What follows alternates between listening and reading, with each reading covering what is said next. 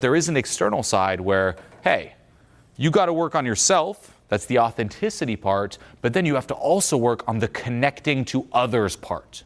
You want to connect to others? You better know how to read others, how to read them emotionally, how to put yourself in their shoes. It's called empathy, advanced empathy, and how to know exactly what would make sense, what wouldn't make sense, what would connect, what wouldn't, and calibrate to them.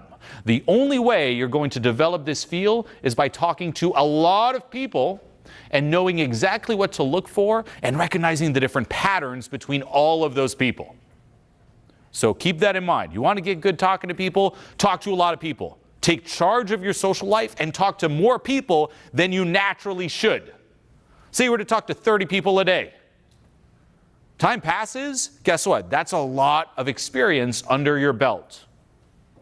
But, as I mentioned, that will be on the connecting side. On the expression authenticity side, that is work that you will have to do on the inside because it's the foundation.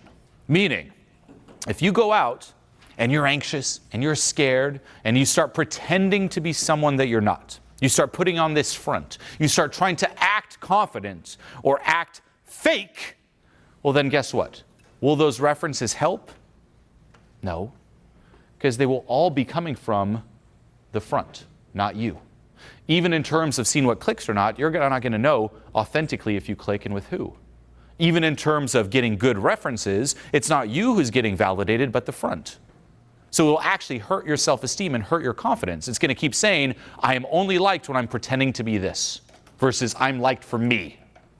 So you'll have to learn how to crack open that front, tap into the real you you've been disconnected from a very long time. This is also why advice like be yourself is very accurate, but most people don't know how to be themselves. Who you think yourself is isn't really you, it's the front that you've put on and been the majority of your life. So letting go internally unleashing authenticity, and then from there getting a lot of reference experiences. At a most basic level, you can break down social skills as, okay, social skills, you have on one side 80% of what I call emotional skills. And on the other side, it's 20% of what I call analytical skills emotional skills, analytical skills. Emotional is everything that has to do with the vibe. Okay? For example, if you're someone who is very anxious, that's an emotional skill. If you're someone who gets stuck in your head, that's an emotional skill. If you run out of things to say, that's an emotional skill. If you can't have fun, that's an emotional skill. If you can't express your true self, that's an emotional skill. Analytical skill, as we talked about, this is the foundation. This you will develop through reference experiences, the right reference experiences. This will come down to, you could say, polishing that natural vibe.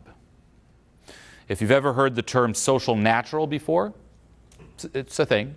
Someone who's gone through a certain conditioning, a certain life, and they just feel very comfortable socially. You might have some friends like that. No matter where you go, they can easily talk to people. Everyone just likes them, likes talking to them. They gravitate towards them. You know, if that person comes out to a dinner or something, they're going to make it fun, right? A social natural. That's the emotional skills. Emotional skills alone will get you to that point of being eh, social natural. You can kind of just be loose, be yourself. But then you do need, as we talked about, the analytical to make sure it connects with others and to even polish that expression of you. And this here, you could simplify it as content. Vibe, content.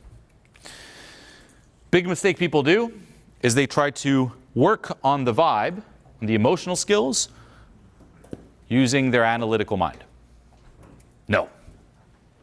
That looks like Okay, I run out of things to say. What are some, if I analyze this and think, some ways I can uh, not run out of things to say? What are maybe some stories I can memorize or some, th- some things I could fall back on, et cetera, et cetera? Terrible. That doesn't solve anything. What solves the emotional skills? One thing and one thing alone. It's two words. Letting go. Yes. Letting go. Letting go is what gets you to become a social natural. All of you were born as social naturals. All of you. All of you were way less stifled as children as you versus you here today. All of you were. This isn't something that's missing within you, it's something that you've buried inside. As you started growing up, you started getting a bit more worried. What do people think of me? Oh, is that how I sound? No baby is, where is that how I sound? No, no kid's thinking that. That comes later on. You started judging yourself. Trauma happened. And ultimately, you started disowning and hiding your true self and putting on this front that you've now basically become. Who am I? The front. And you've lost touch with authenticity. Letting go gets you back in touch with that. Letting go, guess what? Allows you to no longer get triggered. Social anxiety, that's you getting triggered. Until you identify why you get triggered, where that comes from, the original trauma, nothing's going to change. You can try to progressively desensitize yourself, which is sadly what most people do, and that'll give you some results, but it's not all the way and it's not permanent. As soon as you stop doing your little challenges, you fall back.